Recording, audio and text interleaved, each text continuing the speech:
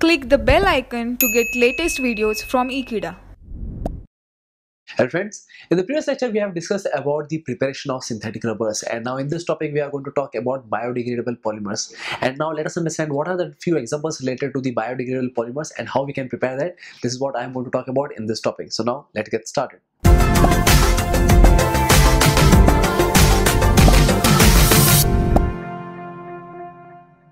So friends, now let me talk about biodegradable polymers. So these are the polymers which can be degradable or which can be disintegrated by the microorganisms and out of which basically this polymers or the other side products that are basically degraded by the microorganisms that would be not harming the environment. And this kind of polymers which do not harm after its degradation are basically known as biodegradable polymers. And out of which I'm going to talk about the few examples. And related to that we have the first one that is PHBV. The name of this is polyhydroxy butyrate co hydroxy valerate and this is what I'm going to talk about. So now let us understand that is how we can prepare PHBV. So in this case we have to consider that is 3 hydroxy butanoic acid and in that case as a starting material. So that is the reason that I'm drawing the structure in this way that is it consists of OH CH3 over here and this one would be CH2 COOH. So in this case, this is the one of the starting material and talking about the other starting material. So the other starting material it would be again I am using that is n moles of and this is the structure that I am going to talk about.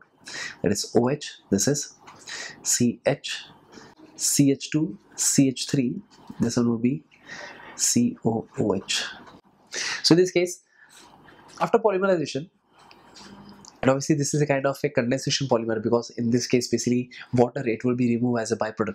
And that is the reason that the product that is what we could get is nothing but I would ideally write the structure here. That is it will be O this one would be CH CH3 this one would be CH2 among this that is C double bond OH this H along with that of this OH it will be removed in the form of water. So that's the reason that we could get C double bond o and this of this is the rest of the thing. It will be as it is. That is CH C2H5 well this one will be CH2 and among this obviously even this will get eliminated in the form of water. So therefore the thing that is being left out is C double bond O, o. so this is the polymer that is what we have left out and uh, or that is how basically it has been synthesized. And this is nothing but PHBV and now let me talk about the next example so the next example that I'm going to talk about is Dextron and let me talk about the preparation of this. So in this case basically we are using a starting material which is nothing but I will write it over here as OH CH3 COOH. So if you talk about the name of this one, so this is carbon number 1, this is carbon number 2. So therefore it is named as 2-hydroxy methane ethane propanoic acid and it is been reacted with the other material and that is known as I will write it over here that is HOCH2 COOH that is glycolic acid.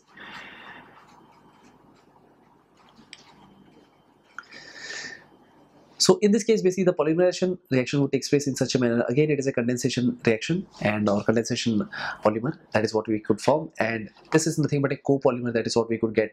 And after by eliminating, that is the water molecule.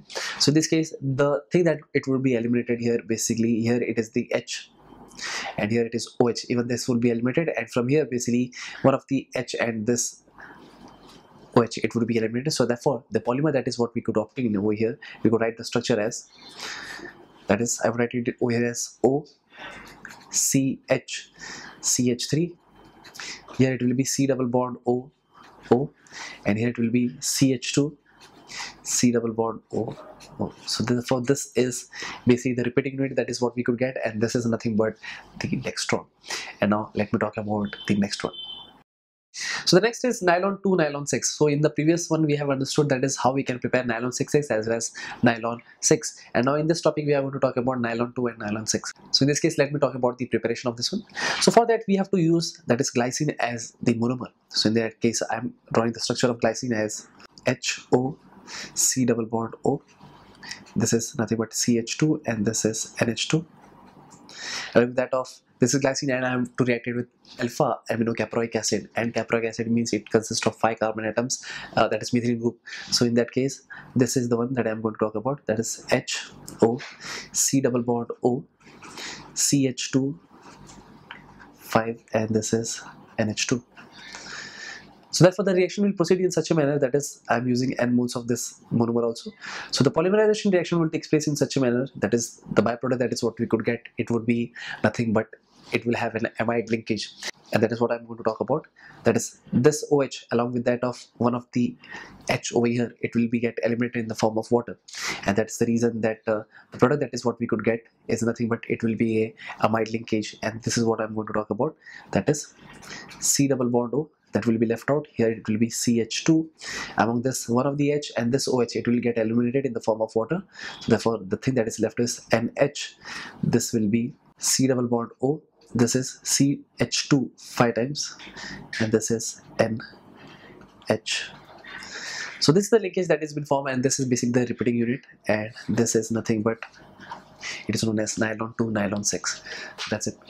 So thank you friends for watching this video. I hope you have understood this video very clearly and i hope you have got to know that how we can prepare this biodegradable polymers.